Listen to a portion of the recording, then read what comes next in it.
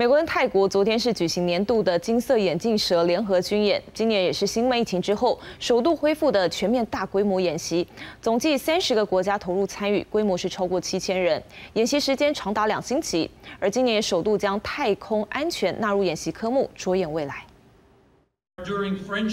二零二三年金色眼镜蛇联合军演的开幕仪式，星期二在泰国罗永市的乌打抛国际机场登场。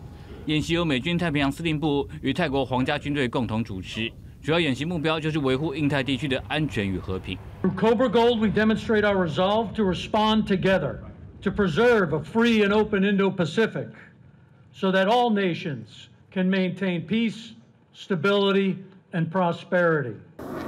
今年是新冠疫情三年来规模缩减后，首度恢复全面大规模演习。美军派出三千八百人，泰国派出三千人。加上新加坡、日本、印尼、南海、马来西亚，以及另外二十三国派员投入，总计逼近七千四百人参与。不过，主办单位的泰国近年积极与中国建立关系，加上泰国皇家军队内部对美方批评泰国军方二零零六跟二零一四年发动政变颇有微词，也让双方关系出现微妙变化。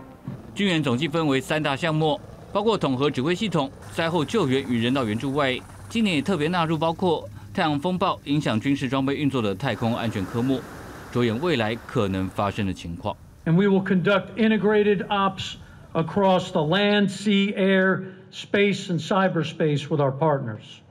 金色眼镜蛇演习一九八二年启动，是全球历史最久的多国军演之一，也是东南亚规模最大的演习，已成为美国在中国激烈竞争下强化跟亚洲国家结盟的重要平台。